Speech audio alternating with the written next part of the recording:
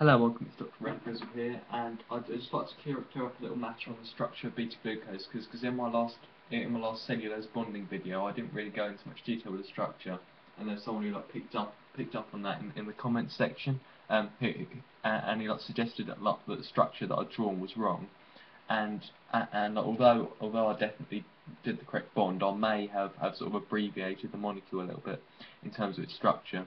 So what I'm going to do in this video is just hopefully elaborate on that a bit more and help and help help you sort of understand the actual structure of beta glucose molecule itself.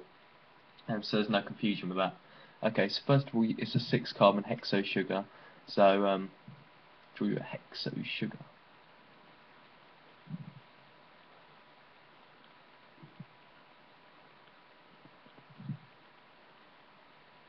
One, two, three, four, five, six.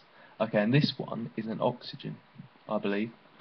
Um, and then we have uh, OH here, H here, H here, OH here, OH here, H here, H here, OH here, CH, 2OH.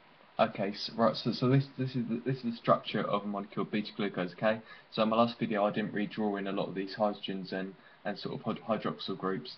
So um, I, I I just like to sort of label this beta glucose, and and this is primarily the function of this video. I just wanted to sort of clear up the matter on the structure of beta glucose.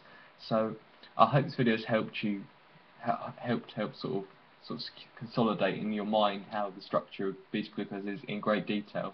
So, so now when you watch my beta glucose video on the actual bonding that forms around this sort of area, you understand that this is the full structure of a beta glucose molecule and you understand a bit more detail hopefully how the bonding works. Okay, so I hope this video has been helpful and see you in the next one. Goodbye.